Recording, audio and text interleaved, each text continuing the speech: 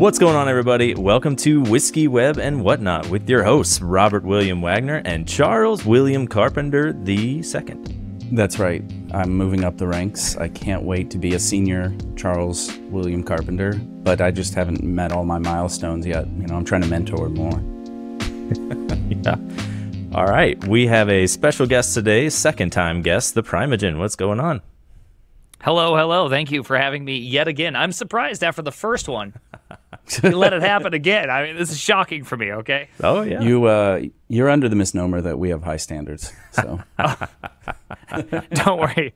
Uh, you know, it was once said of me that I come with nothing and leave everything. My standards are exceptionally low. So, perfect. perfect. not to insult. Actually, that could be an insult for you guys. Don't worry, my standards are low enough for you. You just say yes to anyone who sends you free booze. I get it. Yeah, I know. Yeah, I was like, wait, there's whiskey involved? What do you want me to do? Well, right, exactly. Well, on the off chance that our listener uh, didn't happen to listen to the other episode, and you need to let them know who you are and what you do. Sure. Uh, the name's the Primeagen. Very odd name. I say that at the end of every YouTube video. Uh, I guess probably the la- a big change since the last time we chatted. I'm probably now best known under a separate moniker, which is the Prime Time. Uh, I don't really go by it on any platform, but it's my second YouTube channel, which is now more popular in views than my main channel, where I just read articles. So I'm not sure exactly how that has happened. But I just, you know, one day decided I was going to read some articles because, you know, we all don't read articles, just the headlines. And I was like, I'm going to do this for tw- uh, YouTube. And it's just, it just, that's how people know me now. So I guess I'm just an article Andy. I just read articles on the internet. That's pretty funny. you should get sponsored by that drink, that that drink Prime. Oh, yeah. whatever. I'm not sure. I think it's an energy drink or something. Yeah, it I don't is an energy about drink. If I'm not mistaken, Congress has actually tried to ban it once. I don't know if I want to necessarily be, Yeah. be on Be- either be- side of whatever that is. Well, let's clarify Yes. because there are two drinks. There's an energy drink and like a hydration version. The hydration version is very good. I don't know if it's good for you, but there's no caffeine okay, in it. okay. So the one with like five times the caffeine of Red Bull is the one they're trying to get rid of because like yeah, that's fair. Oh, Yeah. There's a ceiling on too much caffeine in one sitting. I guess. I don't know. yeah. Um. Yeah, I, I hear that's true. See, the, my so my big rule of thumb, just so I know this, I know this is off topic, but it's not off topic. I think part of being a peak dev is being conscious of your health, and so that's technically the real reason. Is you know artificial sweeteners uh, time and time again come up as probably bad for you. Uh, they had a study that showed two generations in rats afterwards had heightened anxiety problems from their parents drinking artificial sweeteners. I don't Oh, know. wow. I don't trust it. So artificial sweeteners, too much sugar, too much caffeine. I love coffee though. I've been drinking half caf coffee and yerba mate. I'm kind of yerba mate up right now, in fact. Ooh, And so- I love mate. All right, Oh, we'll have to get into times. that too, because I want to get into a little bit later. I want to get into not only your status as a streamer, but sort of the, the stance you've taken on on tech Twitter. Again, for like at um, advocating for good health, advocating for like uh, good moral standards, being a weirdo and like loving your family, kids, and wife, and all that fun stuff. I'm a bit antithetical. I get in a lot of trouble. I get called a lot of bad words for saying these things. It's which is a little surprising. But anyways, we can get to all of that. Yeah, be You guide the authentic self. conversation. I'll just talk endlessly. All right. Perfect. That's what that's what we're here for. So let's go with the whiskey then. Yeah. Let's uh, clearly you're feeling a little nervous. You know we need to get into a little whiskey and uh, loosen you up a bit. Today we're having the Spirits of French Lick William Dalton single barrel wheated bourbon. Uh, so this one's going to be a little hotter. It's 110.84 proof, aged 4.5 years. Um, mine is barrel 779. I'll assume you got the same, give or take. They did a Uh, barrel the mash bill. so I would assume Yeah, yeah, all from the same right. That's true. Yeah. yeah, that's true. Um, okay. Hey, listen, don't ruin the flow. okay. Mash bill is seventy percent corn, twenty percent wheat, and ten percent malt. So it's two row caramel malted barley. Not really sure about that, but the note that I found about it is it's inspired by an old Stitzel Weller wheated bourbon mash bill. Stitzel Weller was like a huge uh, distillery right in Louisville. It was really big from things like Old Fitzgerald in the 50s, 60s, and 70s. So the fun thing is the master distiller at Stitzel Weller was Pappy Van Winkle now known you know as the branding and everything else for yeah because what they did that's how they started that bourbon his grandson son grandson something like that bought a bunch of like old steel barrels full of like old Fitzgerald that they couldn't sell at the time, like through the 90s and early 2000s. So he like takes that, starts bottling it, brands it as this Pappy Van Winkle thing, catches on with like chefs and celebrities and all this kind of stuff, and then whiskey's ruined. But anyway, I digress. Let's give this a shot. All right, yeah. I put I put a couple ice cubes in mine. Okay, I don't know if that is. Hmm. Uh, I don't know if I've become unsanctimonious for you guys. I don't even think I used the right term. Listen, unlike you and Golang, I don't judge. It smells like do my grape uh, hubba bubba to me. Wow, that is very specific. Yeah. Is like, and we were talking about random old snack foods. Does Hubba Bubba still? Bubblicious exists. I've seen that. Is Bubblicious the Bubblicious does one? exist, as I've purchased it for my kids nine thousand times. Perfect. It's great.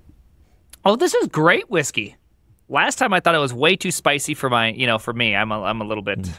you know, or I'm not sure what the right term is. So I, I'm pretty weak on the whiskey explanations, but I know that there's definitely like a flavor range. Like when I drink a Blanton's, it doesn't have that strong burn. Mm-hmm. Yeah, it's ninety And- proof, so it's a little little weaker than this would be.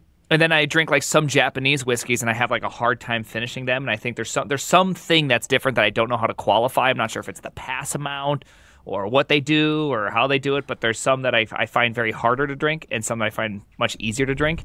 And this one, I could accidentally like say something bad because I could drink way too much of this, and Perfect. you know what, All right. father-in-law. Oh man, please tell me we're gonna get there. Uh, yeah, I mean, basically to broadly answer your statement, essentially, many things are different. I feel like we sent you a rye last time Yeah. or something else, so we would Yeah. have the, a mash bill that includes mostly rye. Uh, so essentially, it's going to be a big part of it are the grains they put together to go ahead and create the the beer. This one is wheated, so it essentially means it's mostly corn, but includes wheat in the mash bill, Makes which little makes it a little bit sweeter. So you've got corn and wheat both in there. They're going to kind of give you that sweetness. It does. I was about to say it reminds me of an onion. I wouldn't call this sweet. I wouldn't call an onion sweet. But they say the sophisticated ham and pineapple pizza is sausage and onion because the onion gives it that sweet. The ham uh, instead of ham, instead of tearing of the pizza, instead of the raw pulling, you have Yeah. the more break apartable sausage. That is like the more sophisticated version of that. And I feel like I feel I feel that, which is that I feel the sweetness, but I wouldn't call it sweet. Yeah, Yeah. that's fair. That's a good explanation. Um, yeah, and I, I agree on the pineapple pizza. I you don't like pineapple love pizza? pineapple pizza. Oh, no, I love it. I think I it's did, great. I, I will eat it. If it's there, I'll eat it. I have no problems with it. I like to add a little spice to it too to really kind of round out the umami there. So put some Absolutely. jalapenos or something on it. Ooh, yeah, that's perfect. Uh, You know, I'm gonna I'm gonna throw something at you right now. It's gonna it's gonna it's gonna trip you up for a moment, but just stay with me, okay? Start using Serranos instead. Now, here's the reason why: is that a Serrano's low heat index is nearish the midway to high point of a jalapeno, and the high point is slightly above the high point of a jalapeno. With a jalapeno, either you have like green pepper spice right. or you have like, oh my gosh, I'm going to die. Whereas a Serrano is just like near that more, oh my gosh, I'm going to die, but then it's also lowered into like, oh, this is pretty good, right? So it's like I feel like I get a consistent spice. I know how much to put on it. I don't overdo it. I don't underdo it. I get it right every time. I want to make a thing of guacamole. One Serrano's nice, gives it a little bite. Two, if I want to feel a little adventurous, right? Like I know what I'm doing. I kind of, kind of, I can kind of walk through it. Yeah, that's a great pro tip. I love Yeah, that. thank you. My my next pineapple pizza will include that and sausage, not ham. Ooh, sausage is a good one. You know, but sausage and onions, it's a very different flavor, Yeah. right? It's a different mode. It's you know, I feel Yeah. like uh, pineapple and and ham. I'm out there. I, it's a fun pizza. I'm having fun. It's it's a more expressive pizza. The flavors all kind of kick at each other versus kind of being together. Yes, yes. No, I love this. All right, I'm going to bring you back to the whiskey though, because you said you really like it, and you may or may not remember the tentacle scale zero to eight because engineers need zero based. So zero Is eight terrible. inclusive? I mean, eight in- is inclusive to of everything you want it to be, or as little as you want it to be. So meaning like we're going to separate this out probably into bourbons, maybe even wheated bourbons, and rate against other ones like that. I think you should consider it from like just a drinkability standpoint. Like, Yeah. would you? Yeah, like would you drink this on a regular basis? however frequently that is. There's no judgment here. And, you know, if you were having a drink, would you just just pick this and not even think about it or would you maybe survey a couple of options, consider what you're eating and all that kind of stuff and then put it somewhere in the middle? I don't know. There's a lot of ways you can go with it. Well, I, I, I mean, I have a take if I, if I, if I can go. So hold on. So I just want to make sure I can rate it either from zero to eight. The Yep. classic nine tentacle octopus. Rating exactly. Yep. Well, uh, in a recent show, because I had read this recently, so octopi regenerate, and it's possible for them to regenerate more than one of a lost limb. So there can be nine. Nice. Well, that's that's that's. I didn't realize that. Okay, so this is this is a formal octopus rating. Okay, I, I get it. All right. Um, I really like this one. I would most certainly drink it without hesitation, and so I'm not sure where that falls onto that because again, I do not have a sophisticated uh, whiskey or cigar palate. I've I've tried to work a little bit more on my cigar palate than my whiskey palate, but I would say that this is a good one. I, I would put it somewhere in maybe the six to seven range maybe maybe mid six would be a good place for me to be. That's fair. That's a good place to go with it. How are you feeling about this, Robbie? Yeah, I feel kind of the same. I think um, the Weller, I forget the names of all of them. The antique one was a wheated one, right? Yeah, the 107. Yeah. Yeah. It's got a maroon label. I think It is that a one 107 proof. was one of the best ones. And I think it was a little better than this. And I think it was like a seven. So I'm going to say, yeah, six or so. Fair enough. I'm going to talk a little bit about flavor. It's funny that you mentioned cigars just because when I smelled it, I smelled a little bit of sweetness and a little bit of like, I was almost going to say like leaf tobacco or something, not necessarily like chew or something like that that you put, but you know, if you smell a new cigar, I could actually pick up some of that in the scent. And then I get, I, I tend to get kind of a burnt sugar in its flavor, sweetness in that sense, I guess, a nuanced sweetness. Uh, I really like it. I think it's very good. Again, uh, it's good that you brought that up, Robbie. The whole Antique 107, which I used to have as one of my regular sippers, especially when I could buy it for thirty to thirty-five dollars. Now it's a hundred plus, so its accessibility kind of makes it, you know, it annoys me about it to triple my price and give me the same product. But so this one, I'm enjoy. I'm going to give this one a seven. I enjoy it quite a bit as is. So it's really good, neat. I could see maybe a couple of drops of water doing something for it. For me, I don't even remember how much it was, but uh, you know, money's no object, of course, at this show. We're just rolling in it. And uh, Classic podcast money. classic- Right, Just exactly. so much. So much podcast money. I mean, our listener sends us like a regular check, and it's uh, we appreciate it. Thank you, listener. Um, yeah, solid seven for me. That's where I'm going with it. Would would uh, ten out of ten would have again. Yeah, that uh, reminds me of the one of the more recent Shop Talk Show episodes. They were like, "We've introduced a lifetime subscription for thirty-eight thousand dollars. Just email me directly if you'd like to do it." Uh, that Uh, sounds. one quick interruption. Did my did my Windows alert go off? I stre- I stream in video Hmm. from Windows. Did it go off? Did you hear it? I don't think so. I don't know. I it would have heard been very obvious if you heard it. It's either a yes or no. So then no. Boom. Was that that? Thing? Okay. No. Okay. Okay. I think Okay. Because it was really loud. No. Yeah. No. Nothing very loud for me. Okay. So. Okay. Just want to make sure. By the way, just want to out myself now. I use Windows for video. Windows for video, everybody, because I have s- things that run on Windows or Mac, and I Mm-hmm. don't like Macs. Hmm. hmm. This is a hot take. We're going Yeah. right into hot takes right now. So you would rather work on a Windows computer? For video, I know- Do you mean so? Are you coding for video, in for video. Windows? Okay. Is there No. any other things? Just the one that you so you just, Just have one video. activity. Yep. yep. So- just one activity, video, and video games. To be to mm. be Right, fair. because you've been kind of trapped there, though, right? I mean, it's If really you want to hard play to Elden not. Ring, you're playing Windows pretty much, or Xbox.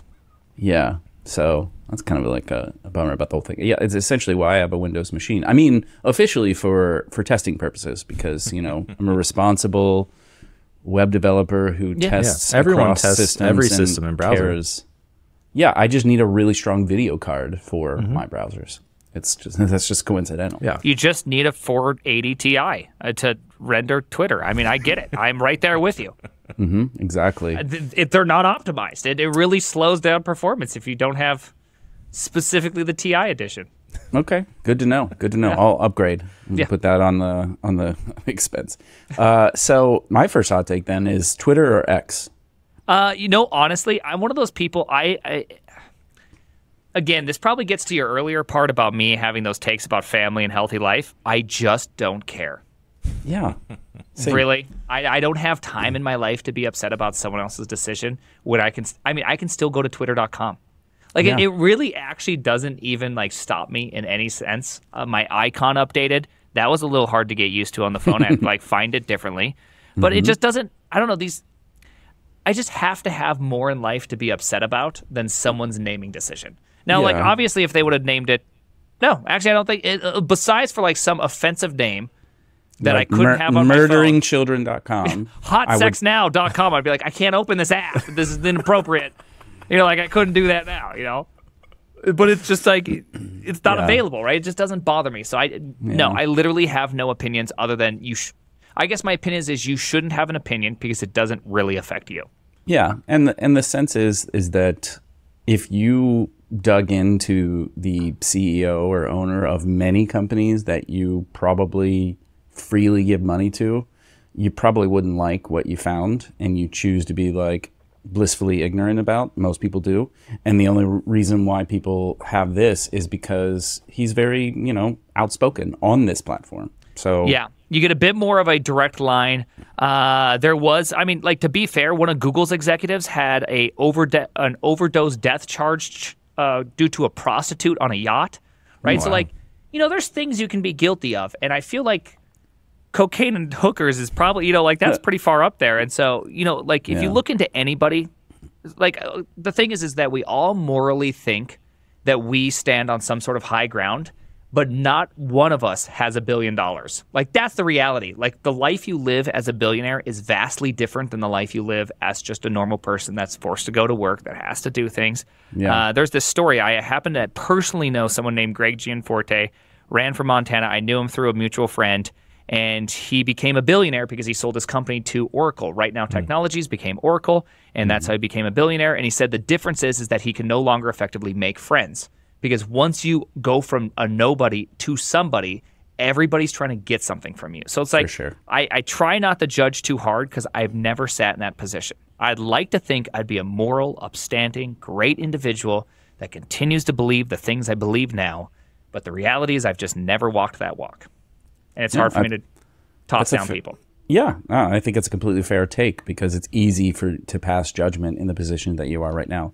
I think Yeah. this is a good time to take a, a, a- a quick, you know, momentary break and uh, shout out to our sponsor, Google Cloud Provider. Um, just kidding. so sorry. I'm so sorry. No, just kidding. You can edit out the previous part, honestly. He's just kidding. oh He's just kidding. no, I'm just kidding. I'm totally kidding. I was like, oh my goodness, I did it wrong. No, no, you're fine. You're fine. No, no, we would have we, we would have given you a good alley oop on that. Um, sorry, maybe maybe you should take the next hot Oh take, my god. Robbie. Oh yeah, everything went out of my brain when that happened. But um, something that I thought was interesting that you had posted was that React is the new Java. What does that mean exactly? Like Java means bad, right? Or I, I would say that. Have you ever seen the cartoon that draws all the programming languages? And Java's like the buttoned-up suit guy. C Sharp's like the guy still wearing pleated pants and all of that. You know, like each They're one kind of has that. Side note.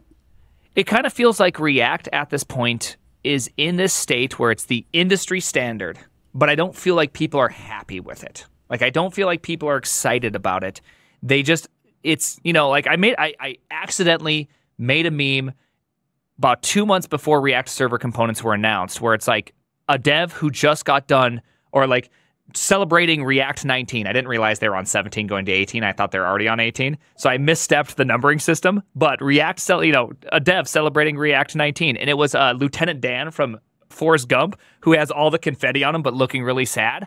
It's just like that, right? You have an application. If you are working at any company that was invented before yesterday, you are working probably with classes still in React. Then you have some hooks mixed in. You have some unsafe underscore component will update methods that you're doing that you don't call set state on because we all know it won't work, right? Like you just like, there's like 9,000 things you're working on, and that's the state of life. It is the industry standard, but at the exact same time, I don't see people like genuinely as excited about it unless if you can totally greenfield it. And Yeah. you know, greenfielding is not everyone. Most people don't work on greenfield projects. Most people Yeah. work on React from four years ago, five years ago, six years ago. Yeah, I think Yeah. that's true with Yeah. any framework, though. Like people aren't excited about an app that's five years old because there's a lot of tech debt and stuff you have to fix in there, and like it's not as fun as building a new thing. And like I don't even know what people use these days, but you 'Cause know, that's yeah, that's just the rate of like front end development where like all of these things are like 10 years or less old to begin with Right. and shiny new thing is always happening because they're inventing it on the fly and you know this will this will kind of go into a question I think we we can talk about later which is r- just about like what is a web application? What is the baseline that we need for a web application these days? You know do we need all of this logic in a browser anymore? And if we do what does that look like maybe there's a like fresh take there but Oh, I Yeah. have a lot of takes on that. Don't worry. I'm storing them up.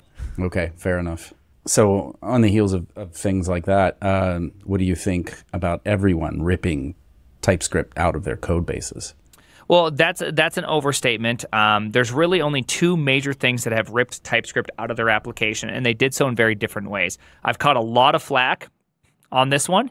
Despite, I think I got grouped in with other people. I actually agreed with them ripping out TypeScript. So hey, don't shoot the messenger. But you know, like I agreed with them. Actually, I'm not the messenger. I am the I am the relevator or whatever they call it, the revelator. Uh, I am the person saying these things. Uh, so first off, it was Svelte and DHH were the big the big ones. Svelte ripped out TypeScript but replaced it with JSDoc.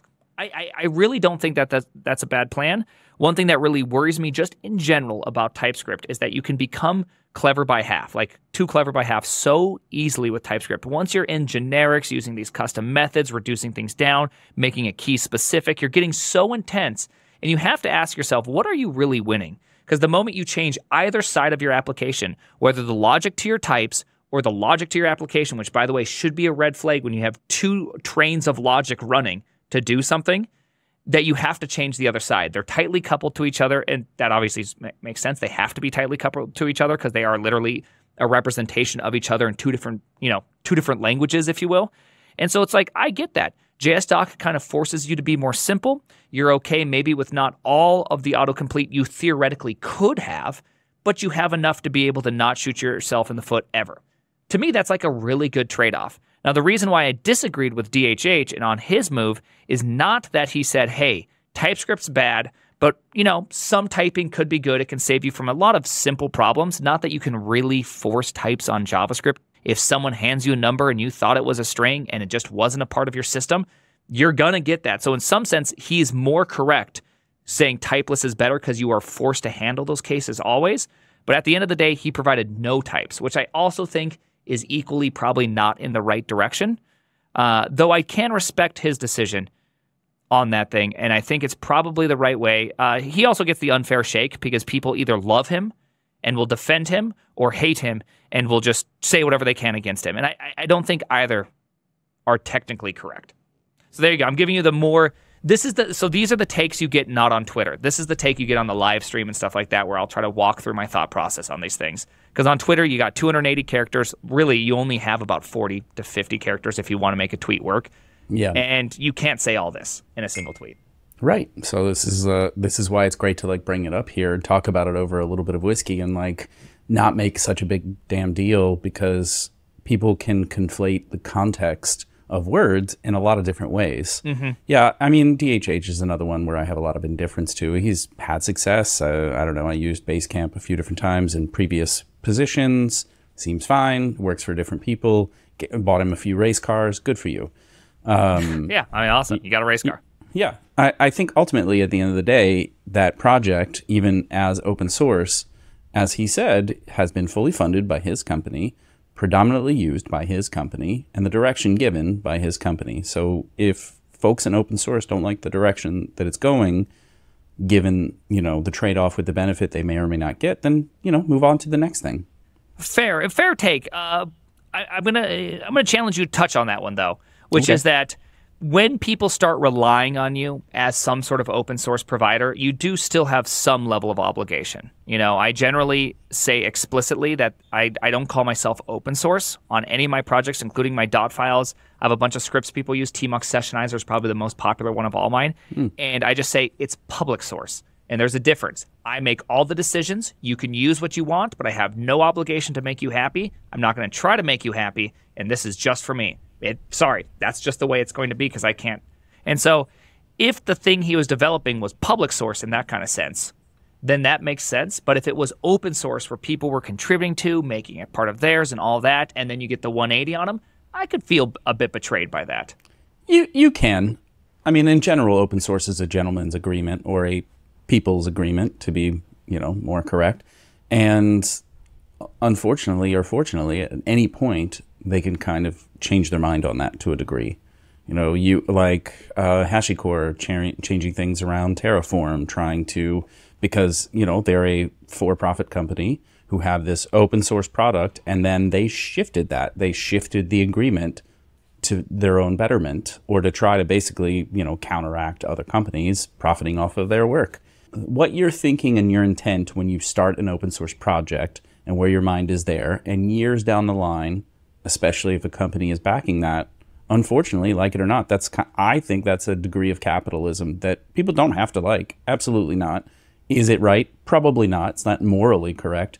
Is it still going to happen from time to time? Absolutely someone's going to rage off Faker.js and ruin a bunch of stuff, or just these things are going to happen. Hopefully, they're few and far between, but I think to expect that these individuals have an obligation to you for all of life is kind of a problem in open source to begin with because this is a bunch of free work, right? At the end of the day, it's a bunch of free work that many people benefit from. I mean, we talked to Max and um T, T dot XYZ, XYZ, yeah. his thing where he's trying to like, you know, kind of put in a system that will reward open source contributors, open source, you know, leaders. I don't know. I don't know if that's the right answer or if there is a right answer at any point, but uh, you know, I think there's always going to be like a point of contention at, at some juncture because of money. It's always because of money.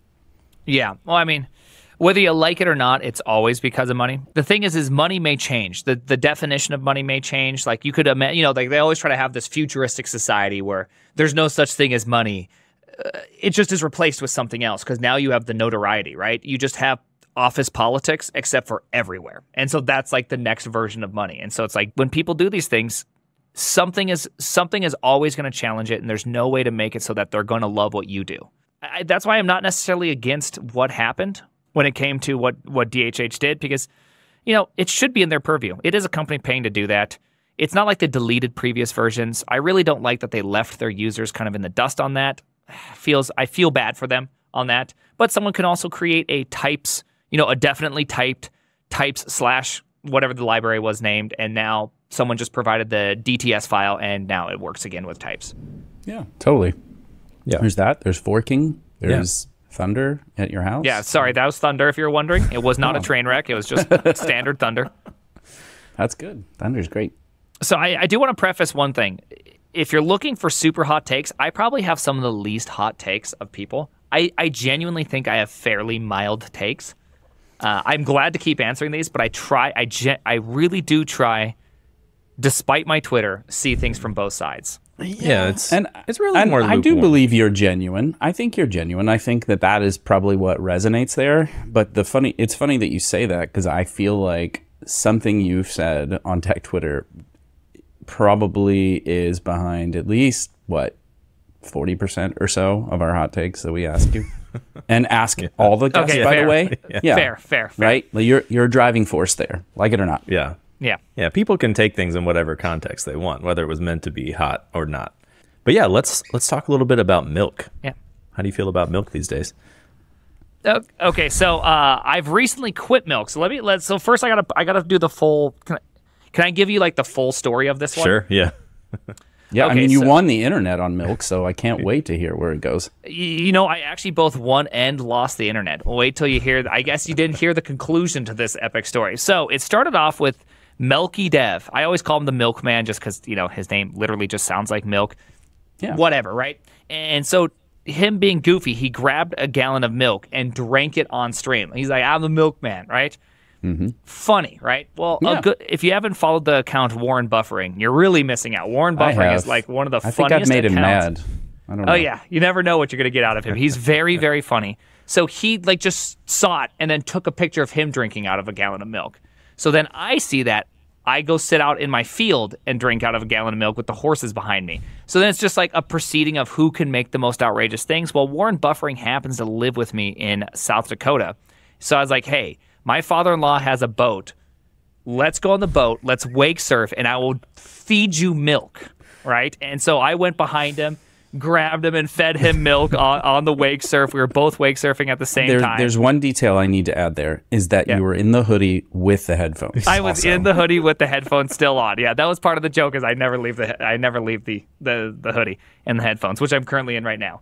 And so it was a good joke. I thought it was genuinely great. Well, right after that, a uh, someone that's going for the Rust moderation team, he tweets out that it's a well-known fact that drinking milk is a sign of white supremacy. Link some article from 2018. I know you guys both look surprised. I it turns I out drinking the- milk from the gallon that, yeah. is a sign of white supremacy. Now, I literally have never met somebody that actually knew this. I, I didn't even know this was a thing. Yeah. And so then he's like, but that's like the whole game is that when you can easily deny it, that's why it's a dog whistle. So it's like you're double trapped. Like I can't say either way. Like if I say I deny it, see, dog whistle. I'm like, damn it. How am I? I I got racism from drinking milk on a wake surf. Like I just didn't see this one coming. How is this possible? Oh, right. And so, yes, I got that one. And it kind of just like, I really was trying to make tech Twitter just a more fun place because it's always arguments, it's always belittling. And like, even in our best effort, which got all the way up to riding surfboards, I thought someone might try to do it skydiving. I genuinely thought there was going to be one dev that tried it skydiving because that's like the next thing, right? But no, it didn't get there. It just kind of got squashed, and then everyone kind of got sad about it, and, and it just kind of it just kind of ruined the fun. And my only take on obviously white supremacy is that it's just it's just sad, right? They're just a bunch of losers in their mom's basement. You know, I'm not going to be affected by them. That's why I don't know about it. That's I don't even read up on that crap. I don't have time for that crap because I got Yeah. kids and shit to do. So it's like, oh yeah, that sucks. Whatever. Well, Yeah. well, But- are your kids white supremacists? Because my kids have white supremacy drink well, at least three, four mornings a week. They just many don't- many times no no they, they they obviously they drink a lot of milk but uh, they love milk so i actually quit milk not because of that uh, because i've been just trying to lower my uh, sugar intake Hmm, pretty regularly so i've decided that i'm going to start drinking less milk because i used to put it in my coffee a bunch so to avoid getting as much sugar i just. Yeah. cut milk out almost entirely They basically, what is it for? Especially for males, I think past the age of twenty-five or so, when your bones have uh, solidified more, like milk isn't really that beneficial in the same ways that it would be for bone density and, and whatnot prior to. Plus, you can get calcium at a bunch of like green vegetables and stuff. Sure, sure, but it's it's the emotional part, okay? Okay. You don't need to ever eat a donut. There's nothing good about a donut, but you know what? I love donuts, okay? Mm, I love Yeah. voodoo donuts. I want that Homer Simpson donut all day every day, but I don't eat it all day every day cuz I have self-control. The higher will versus the lower will. Okay? I listen to the higher will here, but nonetheless, that's my that's why I don't do it is just simply that I want to just always kind of take out the take the easy wins. I may love milk in coffee. I think it just tastes the best. Really, coffee is just a delivery system for more milk. But easy W, reduce sugar, increase just overall health. Easy win. Yeah, fair enough. Um, Sorry, think- Jesus is upset outside. Nobody knows what's happening. It's I was- like this is loud. Did we just become best friends? Because think I, was did. just about to say that. I was like, Jesus. ah, this is- What's your favorite got dinosaur? All right. oh, jeez. Yeah. Step Step Brothers. Yeah. I got it.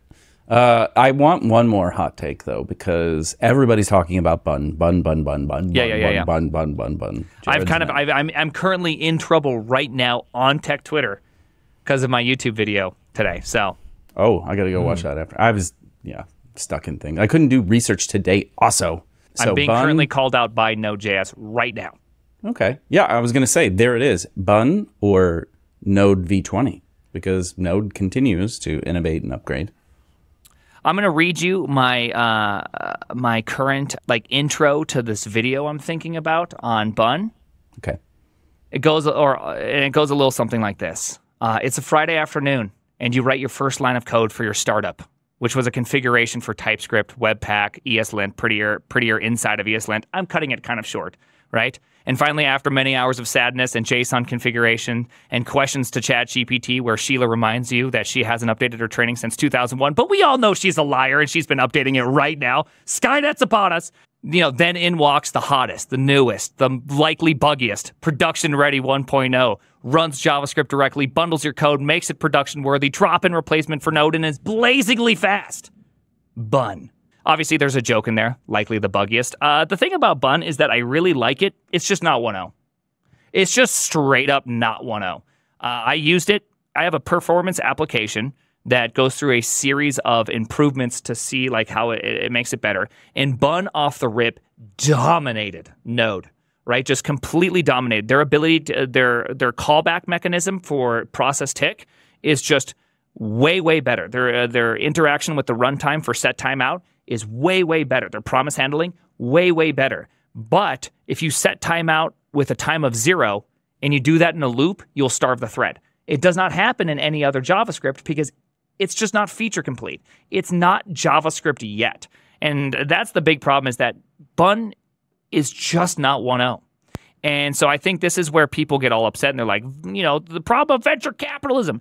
Probably correct on this one. Bun's not 1.0, but they've gone 1.0. And so I agree with that take that, you know, money's probably the reason why they went 1.0 at this point. They're just not ready for it. Do I think Bun has a great future? I think JavaScript Core has been claiming they're faster than V8 for a long time. It actually could very well be true. Perhaps ditching 20 years or 15 years, or I forgot when when did Node.js come out? 2008, 2009. But like they've had 15 years of legacy. No Yeah. matter what you think, 15 years of legacy is just simply going to have things that aren't as good, right? They're going to there's some parts that just won't be as well written or there's better like syscalls, right? Futex maybe becomes available on Linux before it wasn't available. It's like a better way to do mutex type stuff, blah blah blah blah blah. It's like those things couldn't, uh, you know, maybe you just don't have them yet.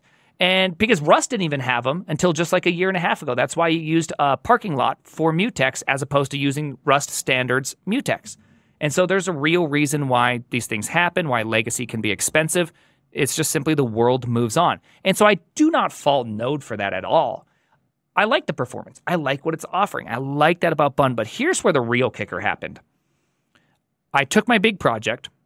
I wrote a, I still use Webpack because Webpack is honestly the easiest one to get started with ChatGPT. I go, here's my entry. I want a single file out. I want Uglify this, this, and this. Make it happen. Boom, it spits me out a config. Put it in, makes it happen. Fantastic. Vite, I still struggle with both pronouncing it the correct way and Vite. actually having the library version of it. French Uh, people across the world are like, that's I know. You got. you need to pronounce it with its endonym. That's not even Vite. French. It's a Vite. Vite. That is Yeah. like Italian. That's accent Italian, at by the way. That was Yeah. Italian Yeah. at best, right there. now you're making enemies all across Europe. Jean m'appelle Charles. Uh, I just said my name is Charles, just so you know. Uh, yeah, it's a good no, joke. I uh, I'm going to France next week, and I took like six years of French. Anyway, Okay, okay. Then you should be more ashamed of your. Fr- of your French accent. you should. En deux, yeah, trois. I should. Uh, yeah. En deux, trois, quatre, cinq, six, sept. All right. Anyway, have But- another Charles. So performance is a good thing. I think we can all agree performance is a good thing. It's the other promises that I want to see Bun fulfill, which is have you ever had a project you're using, everything's going great, and all of a sudden you include another dependency and your build stops working and it says, hey, you need type module. So you put type module and then your build keeps failing and says, hey, you can't do this because you have type module. And you're like, what happened? You're using Vite. Vite's supposed to like take care of all these things, yet somehow you can't do anything because either it fails if you do or fails if you don't. So therefore it doesn't work. And so it's like that sucks. That sucks a lot, especially since it's literally just an import export. Like you could totally solve this. It's like 30 lines of code. Just solve the thing. That's all you need to do. And yet it's not solved. And so when Bun came around and said, hey, you know what? We're going to make ES6, Common JS, whatever you're doing, we're going to make it work. And that's that. And guess what? The same tool you use to install your dependencies is the same tool you're going to use to bundle, which is the same tool you're going to minify with. And it's the same tool that you can just raw dog run TypeScript and it will effectively feel instant. That's Bun. To me, that was the 10 times bigger selling point is not the performance, but the fact that from the very first time you've ever written a line of code to the person that's seen some shit in the field, they're all going to appreciate that as a selling point. Because guess what? Guess what Cargo does? The same thing. Guess what Go does? The same thing. It just caught up to modern development for the first time ever in a real way. And so I love that because Vite is not modern development. It's it's still yet another tool and it still yet doesn't necessarily always play nice. There are edge cases. Bun's the first real one. And so hmm. that's why I'm excited about Bun. I'm not excited because it's really a year off before it's actually ready for any sort of real adoption. Hot Yeah. take, coming in hot. I, th- I think that's the risk too, right? Like you're you're coming in and you're saying you have all these things and it's drop in ready and it you know is a one to one replacement for Node and yada, you know I think that there's I'm sure that there are instances where that's true, and Jarred has been very responsive. I mean, to his credit, mm-hmm. he's been like, "Tell us, we're going to fix these things." He's basically saying, "We want to get to one." I'm releasing this, start using it, and we're gonna just go nuts and, and fix this. And man never sleeps, so I'm sure Yeah. he will fix everything you let him know He doesn't about. have furniture. He can't mm. sleep. yeah, but the but but yeah, the risks there are how many folks are gonna hit walls, not tell him, not reach out, or in circumstances where they can't afford to go down that path together with them, and then he's lost them, right? So at that point, it's gonna let's go back to what works. I got to ship features. I've got to fix stuff for users. I have users. I got to keep moving forward. You know, so that I think that's the risk. I turned myself down, so I may have. I uh, hold on, I, I, I'm gonna turn. I'm gonna mute myself. So, am I good volume? Am I peaking or anything? Are we looking good? Sorry. Yeah, you're looking good. I good. keep getting uh, a bunch of thunder, so I'm gonna just start turning my. You can't see that I'm turning. Yeah, Just lose you here and there. No I'm not bothered by the thunder, to be honest. Yeah, I I know, think but it's for your whatever happens recording- happens. For your recording, I want a nice recording. Okay, I'm concerned about it. because you're gonna really pump this episode, right? And, Like it comes out, and you're gonna be like, "Everybody, listen to this. I had so much to say here. Ignore those other guys. They're dumb, but they, you know, Yeah, exactly. I kept Yeah. getting interrupted by God.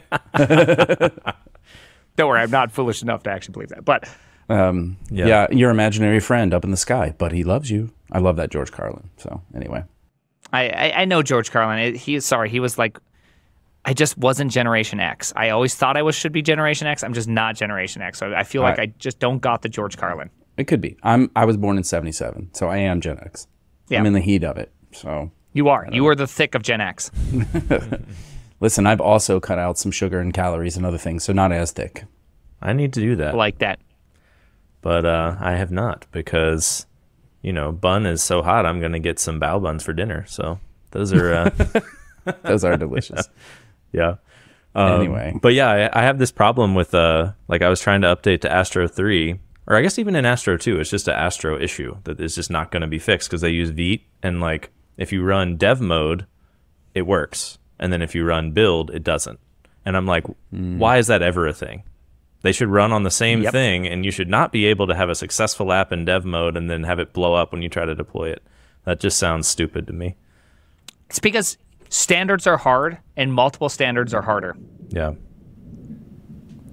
That is such an amazing one. Oh, hey, thank you. Yeah. Oh, look at that. I, sorry. This is not an ad. Hey, brought to you by Google. Uh, Speaking, I, I got my new, I, uh, dude. I my phone is so effed up. I know that the people. I don't even know if this is a video podcast or just an audio it one. is. There's we publish video. yeah. Look well. at that beautiful, beautiful line down the center of my phone. Oh, Here you go. wow. It's gonna Okay. focus. Look at that. There you go.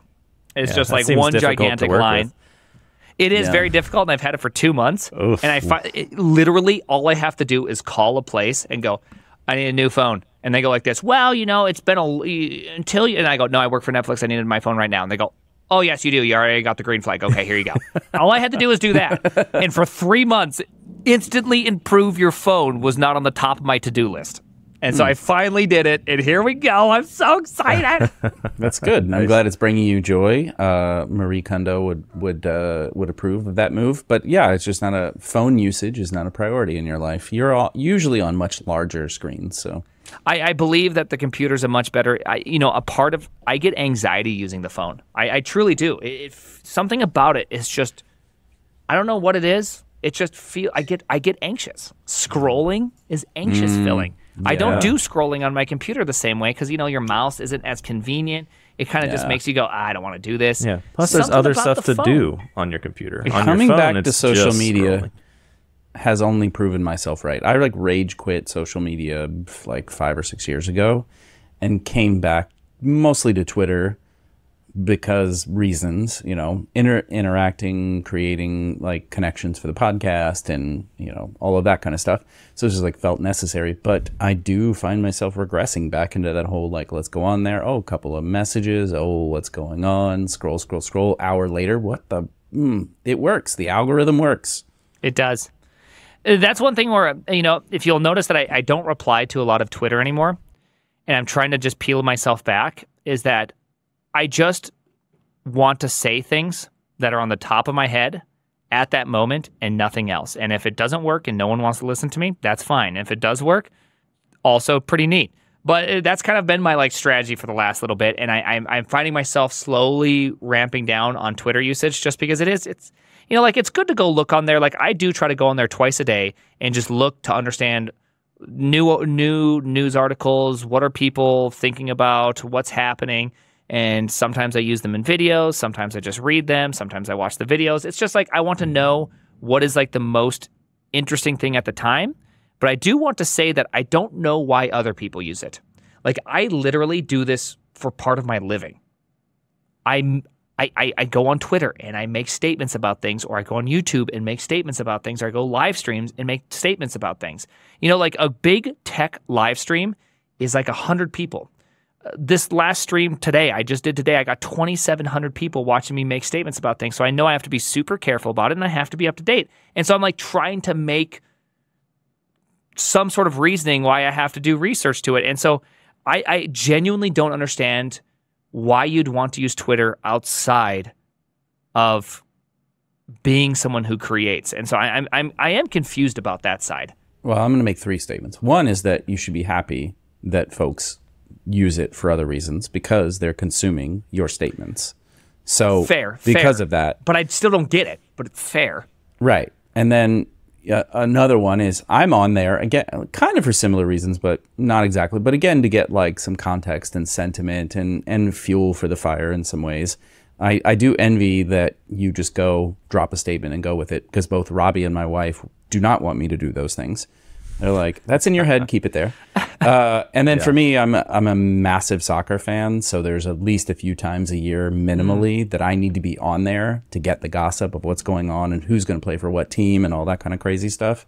So that's more of like a it fuels information for my hobby that in no way benefits me or my family financially. Unfortunately, I haven't worked that out yet, but maybe we'll Okay. get there.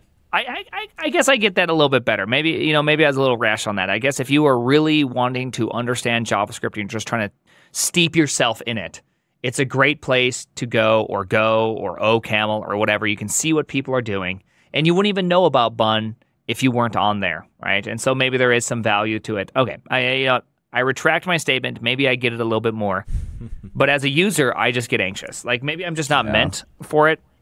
Which is interesting to me because having watched your videos and like how much is happening simultaneously that you are really dialed into also, which is like crazy to me because like you're live coding, there's there's stream, you know, there's live comments happening. You obviously have like what you want to talk about top of mind too. I'm just and it's probably this I'm not able to multitask to that degree. And so you've got your music going, you've got that going behind you, you've got your stream of comments here, and it's just like, blah, blah, blah, blah. it's almost like a DJ in a way. It's like a code DJ, and you're just dialed into all these inputs.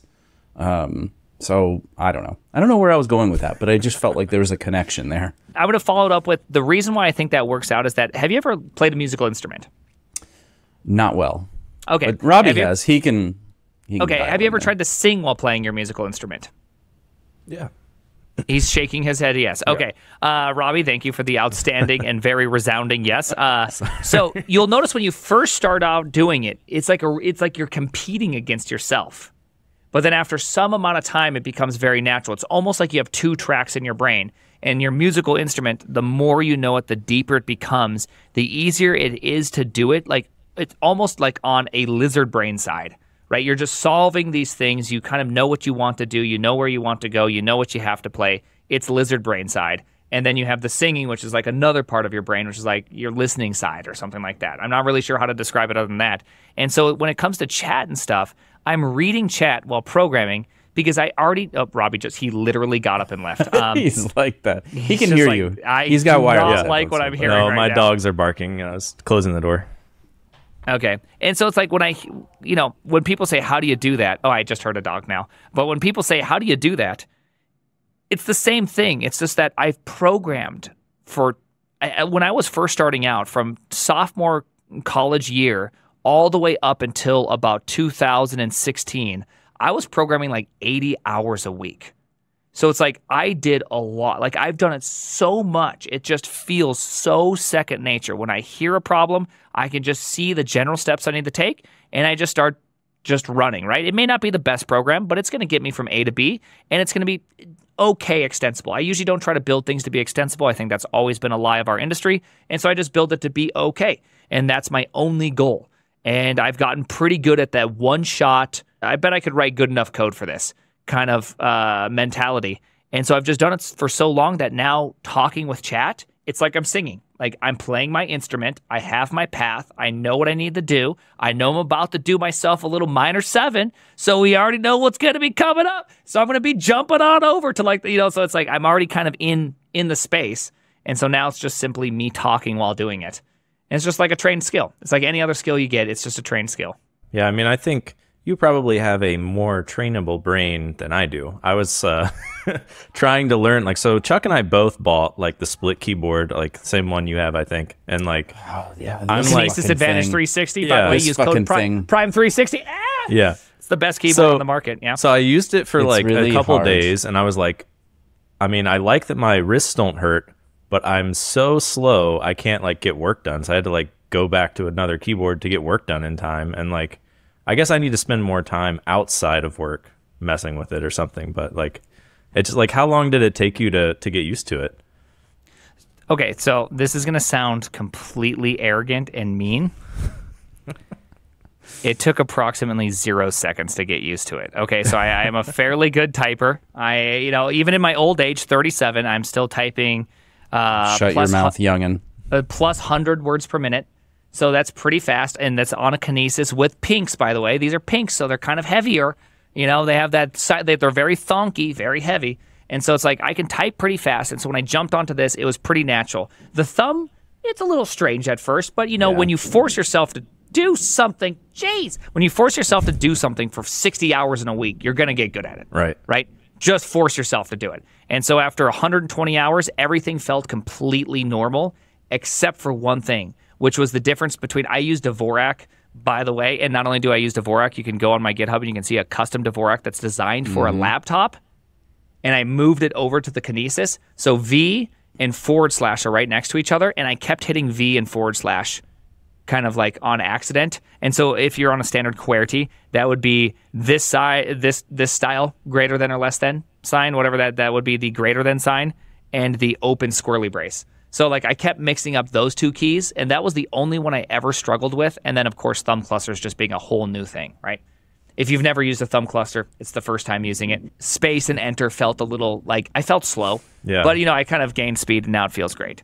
And so I just never like all the typing felt completely normal. And it was just a matter of the fact that I just I just use it all the time. You know, I've been typing since I was like seven years old, eight years old. Yeah, I think I've been typing over hundred words per minute since I've been nine. wow. Well, I invented the typewriter, so I'm not Well, you're sure. old. You're like Dino the dinosaur. Right. Yeah, Dino the dinosaur. There you go. Well, there you go. Just keep at it. I think um, time and patience and just dedication and practice, and that's probably been a theme. Robbie, do you talked play the guitar? Mm-hmm. Do you know a major six? No, I'm I'm not super trained in it. I just uh, I know like basic chords. Okay, Uh, go look up a major six, kind of like in your uh, your your your first position. You know, like kind of like your E position, Mm-hmm. whatever they call it. There you go. Your E position, uh, major six. You have to put your first chord two strings down on your D. You have to go one one fret back. Then you have to do like this, like it's it's just like the the weirdest kind of positioning where all four fingers are engaged. When you first do it, it feels completely strange, but once you get done learning that little major six, all of a sudden it gets a lot easier, and then it becomes pretty normal. And so it's it, that's how I feel about a keyboard. It's just like it's just a new key. You already have all the muscle memory and talent available. You just got to kind of form it into the new thing, and you're like, oh, ye- oh, okay, okay, yeah, now it feels normal again. Yeah, makes sense. Yeah, I think the biggest thing That's for me was like I kept reaching for backspace and it was not there. So Mm-hmm. um, that was like the weirdest one. I was fine with pretty much everything else except for that the shape was a little weird because I'm used to a flat keyboard. But Yeah. um, But you don't get that. You don't get the twist, right? That's where all the damage happens is Mm-hmm. pressure and a twist because if you know your physics, right hand rule, boom, torque vector coming out your wrist, you don't want all those things. yeah, And so it's just like prevents a lot of that from happening. You just listen to uh, what what is it, Fats Domino, and then Me, you no. can do you can do the twist. Come uh, on, uh, uh, baby. You know that song. Let's do the twist. I think that was Fats Domino, wasn't it? Hmm. I don't know. I don't know. You don't know that No, song? I know the from, like, song. The fifties. I know the song. twist. I don't know who I'm did trying it. to think. Are you saying that when you just did that little singing, it doesn't really feel like it was the right anything? So now I feel like I don't know it. Yeah, I don't know any of the I was other thinking the words. one where he's trying to convince the girl to dance. He's like, "Come on, I can do the twist." Yeah, yeah, that's it. Okay, okay, okay. I'm just not a good singer. No, neither am I. That's why I didn't sing it. Okay. Just letting you know, I just don't sing. You know, it's just a little personal thing. you know, do. there are things, there are limits that. So there's that. That's fair enough. I feel like I don't know if we talked about this before, but if you were not in tech, if we stripped away a career in technology, what would you do? Are you ready for my bizarre answer? Yes. Have you ever read The Introduction to the Problem of Pain by C.S. Lewis?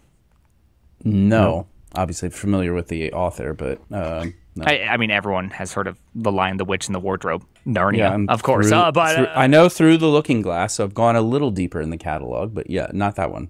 Okay, so in the problem of pain, he he kind of defines this uh, this this term impossible. The problem is is we don't really think about that word impossible, and and, and impossible is not just a word that means something that can't be done. It actually comes with a pre-inserted unless. So he goes like this If I've broken my leg and I'm sitting in the house and I would like to see the beach from my house, I cannot go see the beach. It's impossible for me to see the beach unless I have some friends come and help me go and see the beach from my balcony. Then he says, Well, what happened if your friend asks, Well, if time and space were uh, available so that you could see around corners, then you could see the beach from here. And then he says in retort, I don't know if time and space could ever be in such a way. It is impossible for me to even think about that because the impossibility is built in of itself. It is an impossible question to answer in the sense that it's called the intrinsically impossible. There is no unless clause, right? Like a classic uh, example of an intrinsically impossible question is if God were all powerful, he could create a rock that's so big that he himself could not lift, right? It's impossible in of itself because it suggests all powerful and a power in which can stop it. It's, it, it doesn't make sense. Nonsense is still nonsense, even if you're talking about God. And so, with that pre said into this, what would I be doing if I didn't have programming? I actually cannot answer that question because it is an intrinsic impossibility. I've only lived one life in one timeline. I can't tell you who or what I would have been without that. It's been such a huge part of me from the very beginning, pretty much, that I can't remember a time. I remember when I'm being five years old trying to install the Doom extension to get an extra 100 levels, trying to figure out how to make it work on Windows 3.1 and not being able to figure it out. All that kind of stuff. It's like, that's like, that's all I can remember. You've you know? never been It's- without it. So do you think you'll ever be without it? There you go. There's a follow up question. Is there retirement? Well, there's retirement in the sense that there's forced retirement. There will come a point, whether it's tomorrow if I get in a car wreck and can no longer use my upper body, or sometime in the future when I'm just too old to use my body, then yeah, there's there will come a point where something in me will be too damaged to be able to do stuff, or there's a life track in which I'm too bored to do it. And so, you know, like it just no longer does it. It just makes me feel empty. And, you know, I think the reality is it's much more likely that I quit social stuff long before I ever quit programming because you know like just like this whole node thing that I mentioned up where there's there's a maintainer of node that he was very upset at me at the end of the day no matter what I will get sick of this I won't want to do it uh, I you know it's equally a drain on me as anyone else and so there comes a point where I won't do it and so I can foresee that in the nearer future much closer than anything else because it is just like open source no matter how many people like you, there's a bunch of antis as well, and it just won't work out. You can say nice things, they'll be considered mean. You can say mean things, and people will cheer you on. It's like it's it's not a very healthy thing. And so I see that as an ultimate future where no matter what, I will be done with all these things. When and how it will happen, I don't know yet. I don't try to predict the future too hard. I just know it comes. I think you'll be missed when the mic drops. The mic ultimately will drop. Yeah. There you go. I I try to give it the uh, the the most complete answer I could give. That's better That's than fair. farming, you know, which was what I think people would have guessed. I Like, oh, literally have a bunch of. Ra- I'm up to like 25 raspberry plants. Keep gonna keep growing. Gonna get like I want to get up to like 20 blueberries, 20 raspberries, 20 blackberries, and a bunch of strawberries. I'm reclaiming more and more of my land that I live on for that one purpose. I was gonna say there's something that, that's much more natural, probably more healthy for the human condition to touch touch grass than it is to touch computer. I get that. Mm-hmm. It ain't easy. That's Yeah. all there is to it. It's hard. And eventually you just can't do it anymore. You have to work through pain, tiredness, hotness, all that. I really had to. I just want you to know how much I had to stop myself from saying pimping Also, ain't easy. Well, it ain't. It's it's a fact. We've been told this many times. Yeah, but then like beyond that, I know I just you know jokes cover the pain, Robbie. We just let me have it. Uh, at some point, This is why I'll you don't get a tweet on your own. This is why. I'm sorry. now you understand where Yeah. where those who maybe care about me uh, are coming from. Uh, at some point, though, dry ice and a address in Phoenix. I don't. I just dox myself. Sh- Maybe will be in my future. Who knows? I want some fresh raspberries. I could just come to South Dakota, though. I guess. You could golden raspberries next year. Um, they're all dead now. It's you know it's it's into the mid September. Everything's kind of Right. dying. Uh, but you know, Yeah. What do you We'll use them see. for? Do you like can them or make jams or eating. just eating them? Okay. Straight up. Yeah, eating. this morning I walked out, grabbed uh, six or seven of kind of like the remaining last holdouts, Mm-hmm. put them on my peanut butter and banana toast. nice. Put a few of them on there. Yeah. Ate it. Nice. It's delicious. Perfect. As intended in their natural state. I love it. Yeah. Yeah. All right. We are at time here. Is there anything you want to plug or anything you want to mention before we end? You said you had other things you wanted to talk to me about. and We never got to them. Right? Like the I thi- actual spicy stuff, the, st- the takes that are actually spicy that I'm more willing to get canceled over than anything else. Oh, okay. Well, I mean, that I have been told don't talk to you about, that's fine. We can go there. But Robbie, I'm going to give Robbie a little bit of the floor before I ruin everything. Well, I just want to say you guys told me you're going to talk to me about like my takes on family and other things like that. Yeah, yeah, the moral compass. Like Yeah, yeah, essentially yeah. being a moral that, Chuck. compass in tech and you know, are are you are you letting letting the tiger go? That's what's going On. Anyway.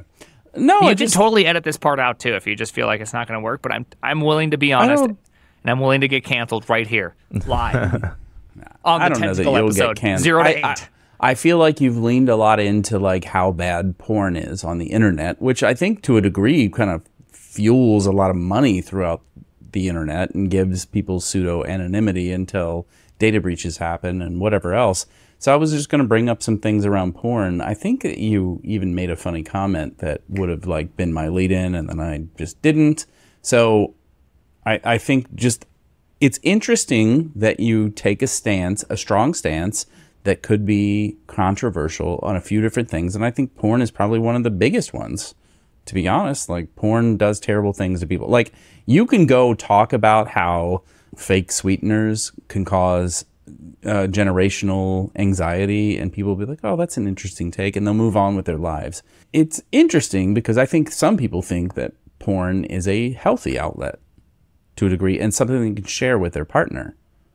And you are like, no, absolutely. It just provides nothing. It provides like probably like a falsehood of expectation. I think it's probably one like one of your biggest arguments. That would be one of my biggest arguments. Correct. Would So you Would you right like me to expound? Would you like me to expound upon all that stuff? I would like you to Sure. expound, expound that.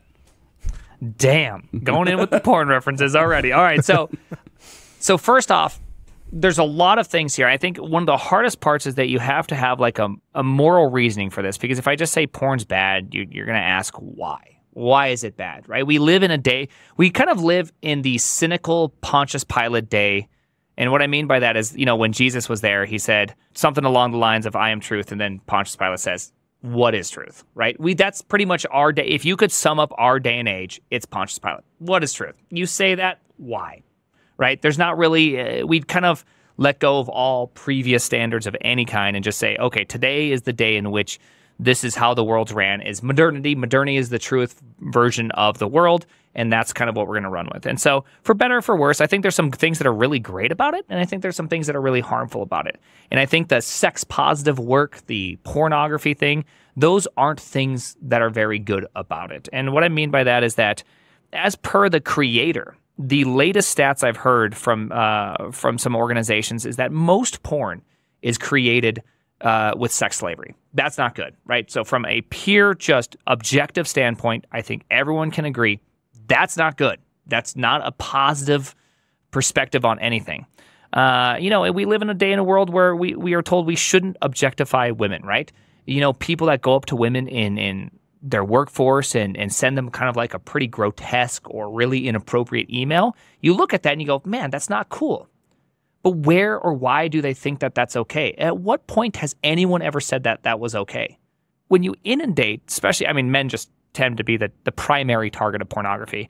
Uh, when you inundate, you know, men with that, they don't have a compass to know where the boundary's at, how to even date somebody. Because it's just like, you know what the thing is? The nurse comes in and takes your temperature, your pressure, and whoa, that's not the only thing under pressure, right? Like you have no you like have no way of even knowing how to talk to a girl and there's just all these young guys that str- they just they they're genuinely struggling with it erectile dysfunction is the highest it's ever been among young men we're not talking in like 1% we're talking in several percents which is just crazy to think about. When I was a young guy, I couldn't stop having a boner. I thought I had to go visit a doctor several times a week because it lasted longer than four hours, right? Like that was And then the nurse came in and then, it was taken care pressure. of.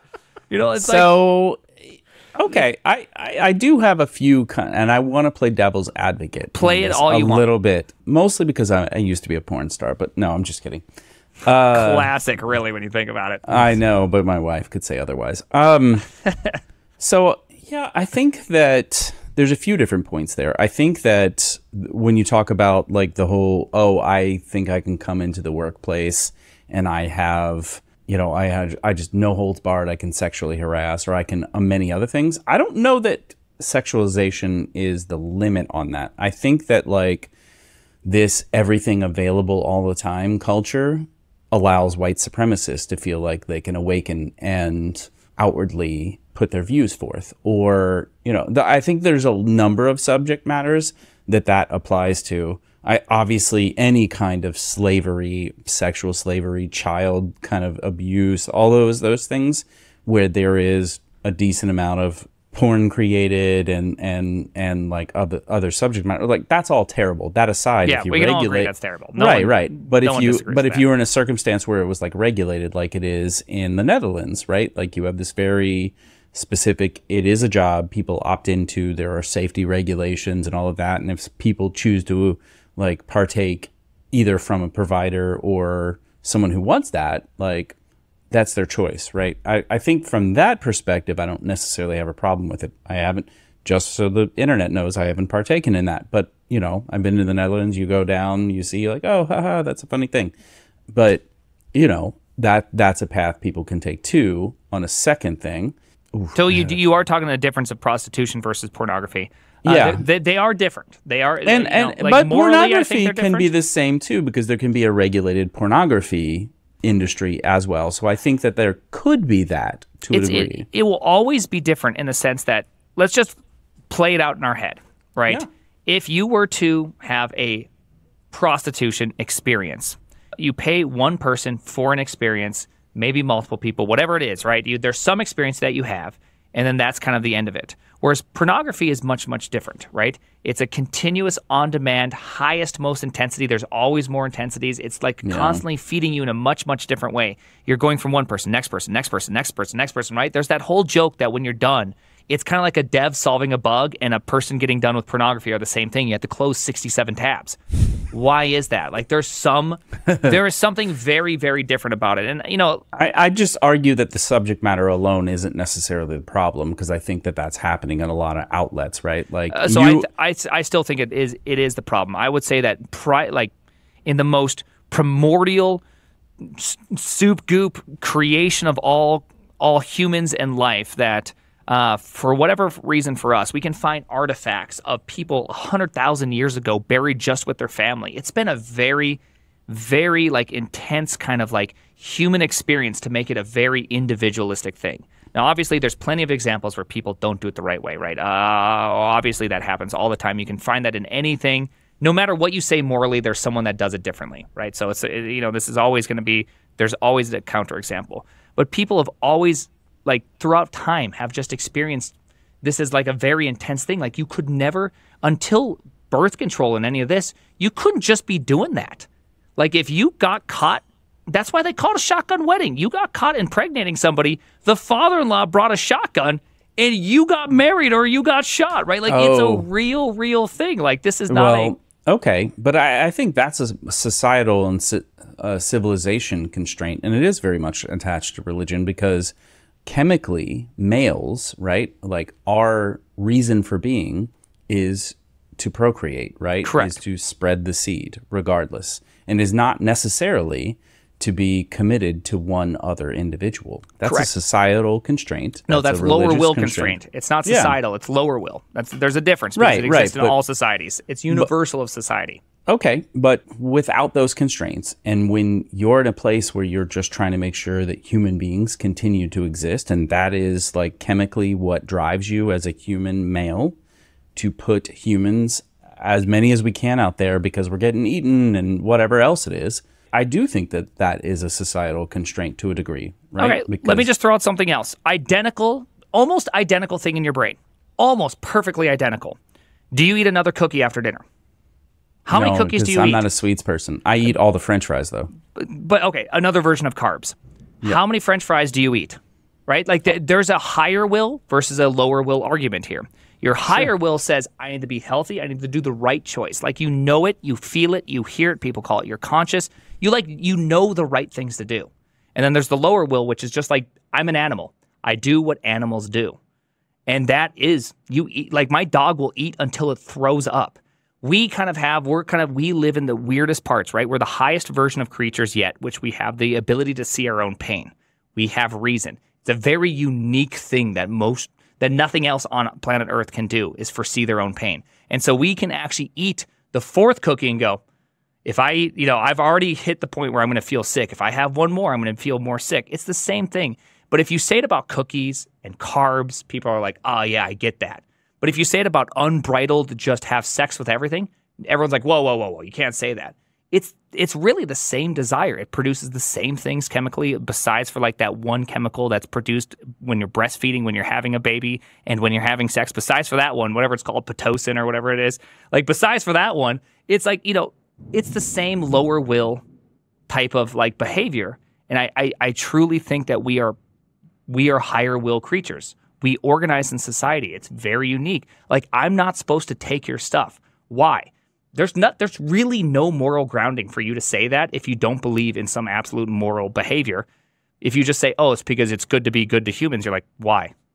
And so it's like I've just taken a more hardline stance, which is I think the biggest thing you can do is to love one person.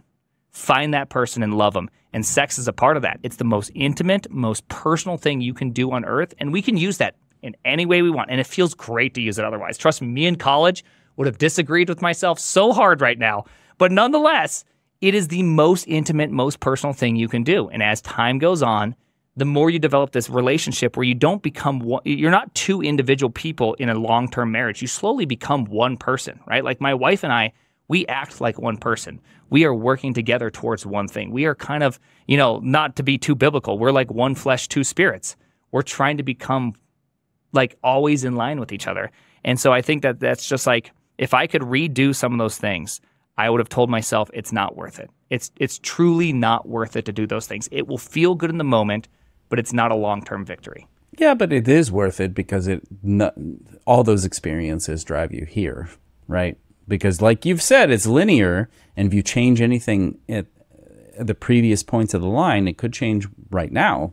So that's not worth it. True. The most unhappy I've ever been was during those times. But you In had to be unhappy to get to this. That's true, but you don't like you know it's kind of like saying there's a big hole in in, in the street in a dark and we're going to let people fall into it because they need to know the hole's there. You can also prevent the person from falling in the hole and they'll know to avoid it. Right? But we can let people have that experience themselves. And you know the sad part is is you see a lot of people that are older wishing they could undo some of the things they did when they're younger, but we have no moral standing of any kind to say, "Hey, you know what? Maybe you shouldn't eat that next cookie. Maybe you shouldn't just live this way. Maybe it's better to be a chaste individual than it is to just chase after anything in which your lower will suggests is good. And so that's always kind of been my more that's my humanitarian argument behind it because I'm I'm trying to make an argument without appealing to a higher authority. If you're if you're wondering, because that's most people kind of observe that. Uh, obviously, my belief in God and my big change and meth addiction and all that has kind of fueled my thing. So I have more of an absolute morality in this position. But kind of stepping it back once, which is just making a pure human argument, that's my pure human argument, which is that you you don't live a more prosperous life that way. You will ultimately not end up happy. And so it's like I would rather try to prevent a huge amount of unhappiness than to say, you know what, that one person that actually is happy, which I still don't believe actually exists, but it we'll just say exists, we'll let you keep going so everyone else can just suffer because of that one decision. I think that's fair. I think that you have a um, deep moral belief in that. Exactly. Amen. Very upset, by the way, and you guys. yeah. Not me. Okay, I'm I'm sitting good. yeah, you're fine, you know, but uh, us, eh, you know, that's all right. Uh, no, I, and I on purpose want to play like the Yeah. counter argument and, you know, so I'm actually very happy you did because it challenges me too to make, you know, my arguments aren't that great.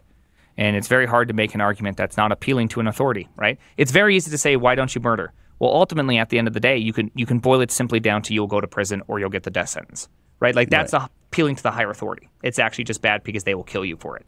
Yeah. Uh, but you know, you have to make a moral justification for any argument you make, and it's very very hard to do that. So I actually do appreciate you doing that because most people just call me an idiot or a misogynist or or something like that, and that's never been my intention. Yeah, and that's so surface level anyway, that kind of know. insult. It's just like, oh, I read this one thing on the internet, or maybe I saw, you know, 10 of your things on the internet, and looks like you're just an opinionated asshole. But the reality is, is that there's a long path that has kind of taken you to these opinions and feelings, and your intent isn't necessarily to like, you know, call someone else stupid or immoral or whatever else. It's to like put forth what you think is worthwhile and take it or don't. But I think this is, you know, good advice.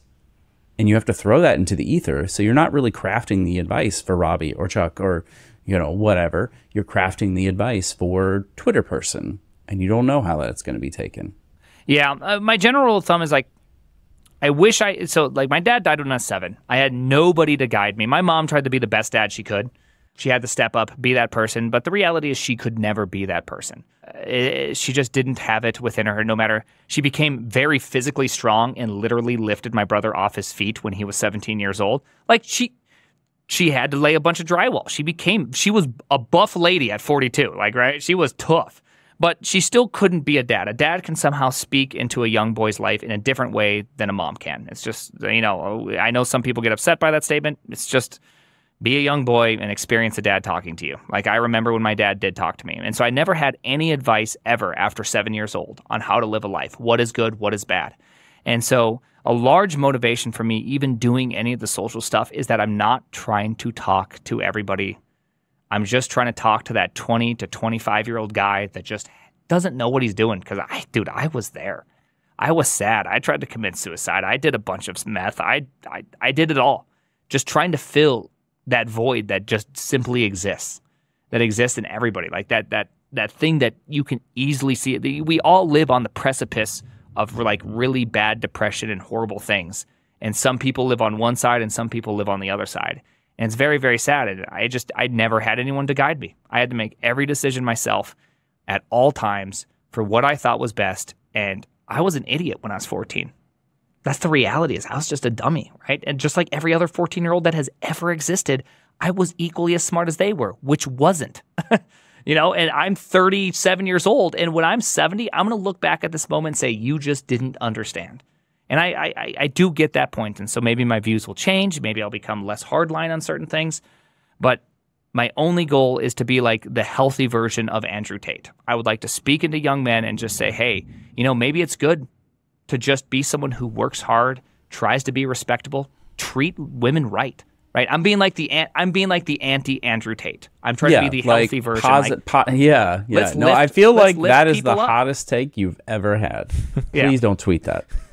Please don't tweet that. I know where you're Yeah. going. I hear where you're coming I know people it. can't like, hear because they see Andrew Tate and they think it's evil, but it's like because there was an Atlantic article, or maybe it was something else recently about like non-toxic masculinity. I'll find it. I'll send it to you. Um, but it is. It's sort of like you want to allow men to be men and encourage that, but you don't want it to be toxic in the ways that you're talking about. So I like totally uh, Yeah. rock where you're going with there. And I mean, you know, I'm Gen Xer, latchkey kid with a single mom, so latchkey too. Yeah. yeah, so I, I'm picking up what you're dropping there. Robbie had a silver spoon. He just he doesn't know what we're talking about. But- I believe they sang Hey. a song for you, Robbie, about Silver Spoon. Yeah. well, I loved that show though, so you know, I think Robbie was uh, I forget the character's main character's name. I know that. Um, uh, You talking about Wonder Ba- Years at this point? No, no, no. Jason Bateman was on the show uh, with Ricky Schroder called Silver Spoon, Okay. and he had a little like uh, train in his house and everything else. Anyway, I was referencing CCR in their very famous song oh yeah, against Cretans, the, yeah. the Vietnam War that says I wasn't born with the silver spoon in hand. right, yeah, because you got out of the draft. Yeah. anyway, we massively digressed, Yeah. but I do. I think it's a Um, good subject matter. I'm glad we like, Yeah. got to let this all out. I do have one quick thing that I want to ask about. Um, what does your cup say? oh yeah, Hey, we thank you didn't for get asking to that. the cup. Good All right, can I, can I can I can I address one more thing before we go Sure. on? So the reason why I say I'm not, you know, I don't try to target women specifically is that uh, real talk. I don't understand women. I barely understand my wife. I'm just trying to understand her. Uh, I feel like women are very complex in comparatively to men. Most men want to blow stuff up. Like it's very pretty pretty one dimensional. So I, I chemical differences? I, I feel like I just understand that feeling. It's like who I was, and I was, you know, I, I got to experience that for the last 37 years. And so it's not a dig against or anything. It's just I don't understand the market. I, and I don't want to try to pretend to understand it because I kind of feel like people that pretend they understand, it's just so disingenuous, and you can feel it. They say all the right things, but it's not honest, right? It's not from that honesty point of view. Whereas, like, I can feel what it feels like to not be strong enough, right? most women don't think about can I physically beat up this other woman, right? Like that's just not not a thought you have. Whereas as a guy, that's a more common thought in high school, right? Is am I gonna get in a fight today? It's just like and so like I understand that line of thinking, and so that's the only reason why I I target it that way. So there you go. I just wanted to preface that just in case anyone's wondering. As far as this one goes, it goes like this. I saved Netflix thousands of servers, and all I got was this lousy mug.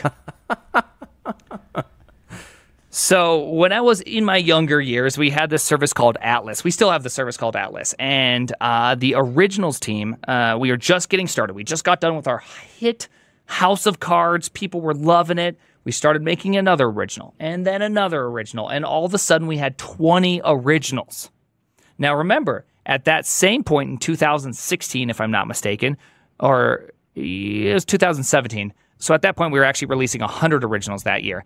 We also released that we are opening to every single country worldwide in 2016, January 6th, 2016, I think. Anyways, uh, so at that point, we had this really hard problem, which is we have original movies with high quality images on different canvases with six different box arts per video because we wanted to do box art testing. On top of we had every single different language. So it's like a huge multiplication matrix, like hundreds of them. What asset is missing? Is Casa de Pablo, commonly known as uh, what is it called? It's called Money Heist.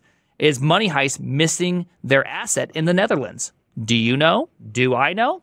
So I said, okay, I'm going to figure this out. So I went in and kind of came up with this idea. If you don't know what Atlas is, it's just like a super sophisticated gauge slash slash counter database.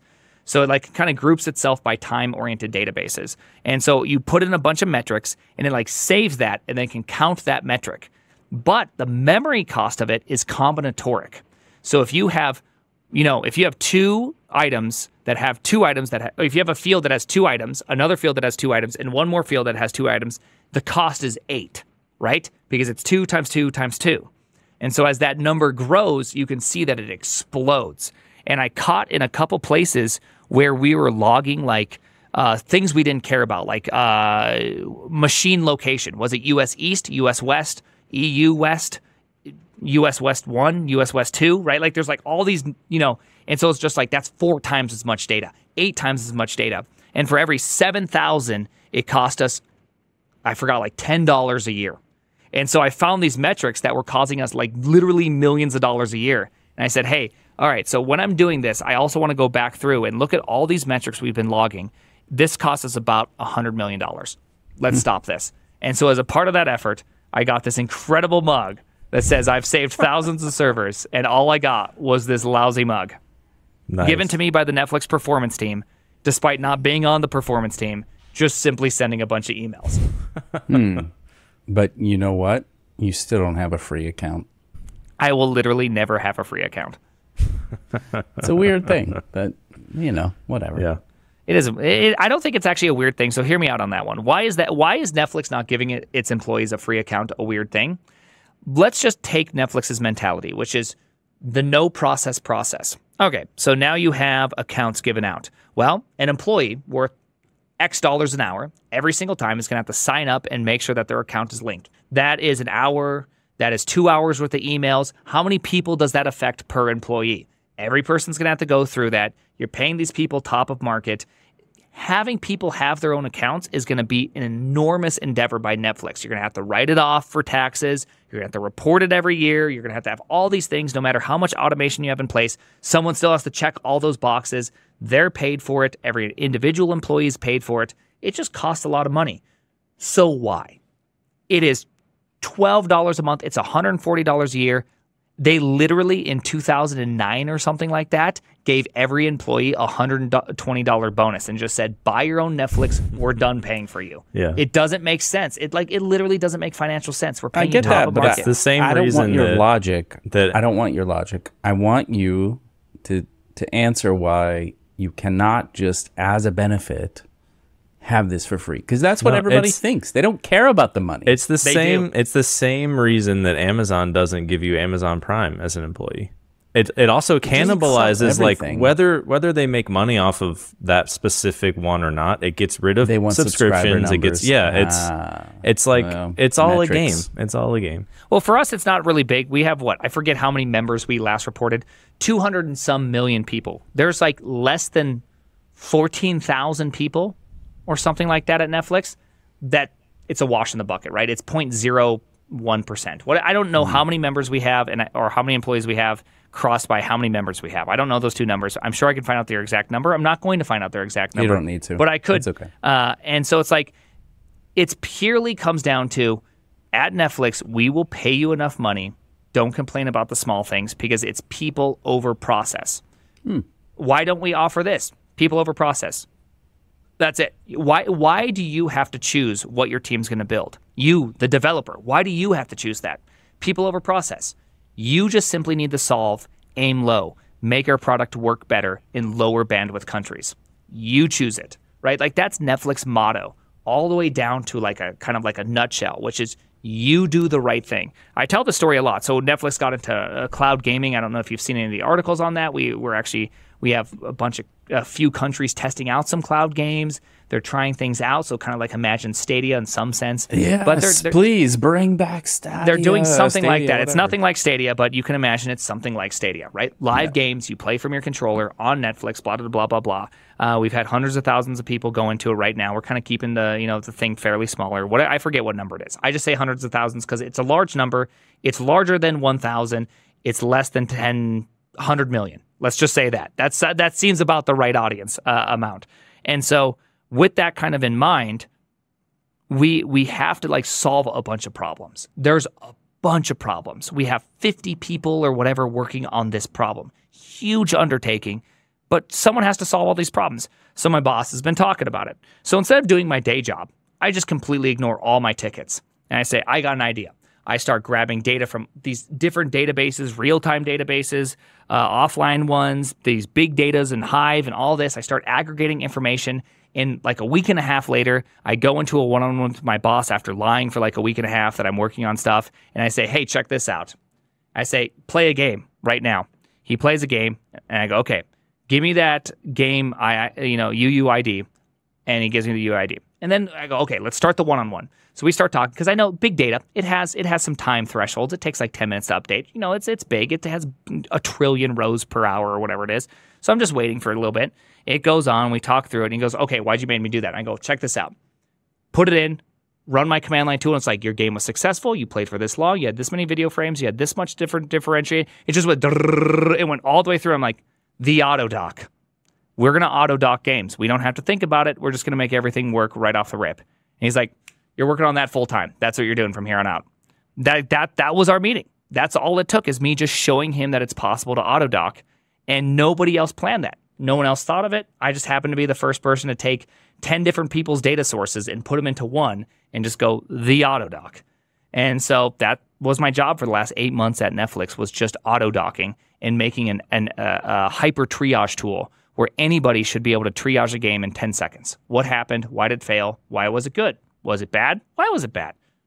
And so that's kind of Netflix's model. That's why we don't pay for subscriptions in some sense, is that you kind of choose your own destiny. What is your destiny at Netflix? Is it a destiny where you don't do things, or is it a destiny where you create your own future? I'm working on a new project. Can't talk about that new project, but nonetheless, I'm working on a new project where, again, it's a create your own destiny kind of project where it's just like, I can see what we're doing. Here's what I can offer. I will offer a new perspective. Let me show you. And so I love that. I love that more than anything else. It's the reason why I continue and I will continue to always work at Netflix for as long as I can because it's not some corporate BS machine. Though we do have corporate BS like every corporate corporation ever created. I just think we have less of it.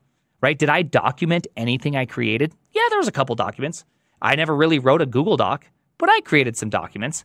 You know, like I, I created some readme.mds and coded up some some triple hashtags for titles. But like that's about what I did, and so that's why I just love that. I just How love many that so. PRDs have you written? more than Product. one. Oh, well, there we go. Actually, I didn't get that. I thought it was a PRD's nuts joke. I thought you were about to drop a D's nuts joke on me, so I was, I was ready. I was just like, oh, oh more I w- than one. I'll tell you that Oh. Not catching I me off guard. I, I wish I had. I wish I had. Oh, I live on the internet. Remember, I dropped get, the ball on that. I die of ligma Oh, God. three times a week. So you just got, you know, I'm ready. I'm ready at all points. All right, All right, I enough. really do have to jump off for dinner here. So, yeah, anything uh, you want to plug and you want to tell people how to find you or anything like that? socials, uh, YouTube, Twitch, all those things going great. If you want my long form takes, Twitch or YouTube are better. If you want my short form, really truly incomplete takes, you got to go on Twitter because Twitter's not a place for complete takes. It's never been a place for complete takes. It's just a place for stream thoughts. And so there you go. All right. It's like a notepad, ongoing notepad. Yeah, I don't treat it any other way. It's so if you want like my raw thoughts, Twitter's probably better, but it's very incomplete, very incoherent. That's fair. I'll keep it that way. You know, All right. Thanks All right. again. I totally get if we it. take out the porn section. By the way, and uh, you know, it's it's it's a weird section to have in there because I feel like the argument's incomplete no matter how I make it without appealing to a higher authority. You know, it's very hard conversation to have. Plus, Robbie hasn't said anything this whole time. I feel bad for Robbie. Well, you know I'm Yeah. the talent, so Yeah, you know, yeah. Chuck Chuck dominates the conversation, but that's that's fine. I Um, can't help it. I Can we all say I thank you to. William Dalton? yeah, Yeah, thanks. that's my guy, William. Yeah. This was a really great whiskey. I, I'm happy with my six and a half rating out of eight. That's what she said. Um, if only I could have a six and a half rating ever. no, I uh, I literally chose this out of visuals. Right? I think I picked this. Didn't I pick this? Oh. Uh, there you go. I don't know. I think. yeah, I, I mean, It- if you guys want to keep it came from talking about Pride random Barrel. shit, we can just like take takes for later, like out of it. If if you want. Like I, I have to go, but you can hang out if you want. I have to pee also. Okay. though. All right. So there is that. But I do like this, and I I don't know. I think we should do this in the semi regular cadence. I don't know. It's fun. Yeah. Or whatever. Whatever you think. That's you, Yep. Prime. Uh, I, I have no problem if you need a couple more hot takes. I always have hot takes, but if you don't want to do it, feel free. Uh, the DGen Legion loves anything I do, and so I know that it will be great for you guys. I think they're very excited about it. I think you guys are great. I love the fact that you challenged me. Only, I don't even know if you agree with me. I just love the fact that you did that. So It doesn't uh, really matter whether I agree with Yeah. you or not. no, I love that. I, don't want be to honest, know. I love that. Yeah. I just want to have that combo. No, I just really have to go to the restroom and all that kind of stuff. So, but I want to talk more to more to you in the future and kind of Yeah, love yeah. this and all that. We that. can do it again. stuff. All right, cool. I'm coming to South Dakota. See you soon. Yeah, no, literally, you can't. If you if you actually send me a message and just say, "Hey, I'm coming to South Dakota. Me and the fam are going to come see Mount Rushmore, whatever." Just let me know. We have a room upstairs for you, and then the kids go downstairs to the just the Thunderdome that is the kids zone, and they have their own room in which they can figure out what they need to do, and then you can go off. We'll give you a car. You can go drive around, all that kind of stuff. I love it. I love it. If you Thank if, so if you have enough for a Jeep, then we can put you in the Jeep. If you don't have enough for a Jeep and it's just you and your wife, I'll give you the plow truck. So that way you can say snow's not the only thing I'm plowing. and then point to the field and say the field could also be plowed if I really wanted it to be. You know. There we go. I, I love how you're All trying right. to make my Twitter better. Yeah. All Thank right. you. All right. All right. Cool. Have a good one. Yeah. Ciao. Thank you.